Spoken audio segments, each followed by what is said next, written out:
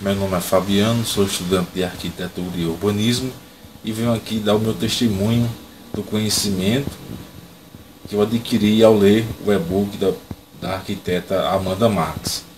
É, diante de tantas disciplinas e conteúdos que são ministrados na universidade, é, a gente acaba é, deixando de aprender muitas coisas que muitas vezes é a vocação da gente.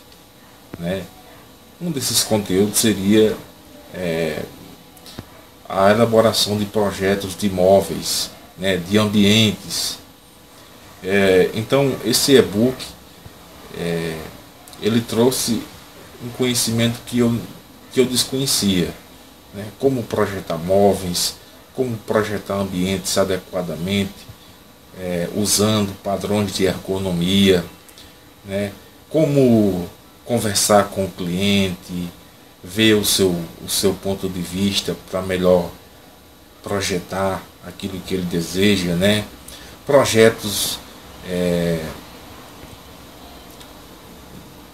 de moradia setoriadas, né? projetos comerciais como de lojas, escritórios, consultórios.